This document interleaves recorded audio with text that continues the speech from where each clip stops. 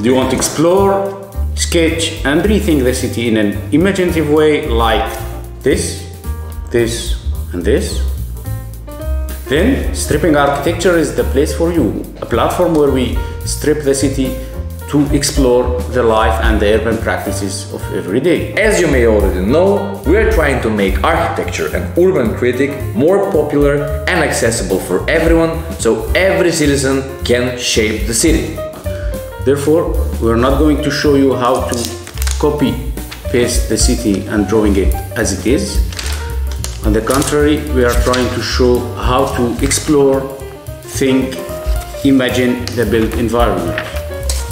This is very important for you. Why? Because it might help you in communicating the problems that you face every day in the city and the different kind of ideas that you have in mind uh, or any kind of project. In other words, we are basing our sketch practice in four major principles. First one, conceptualizing of existing architecture. Second, perceiving architecture in imaginative way.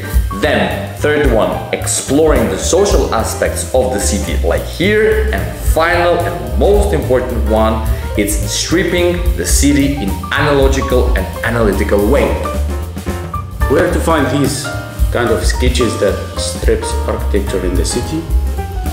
Of course, on Instagram, where we explore the city in an imaginative way, TikTok, architecture, sketch stories, and LinkedIn projects that we work on daily basis.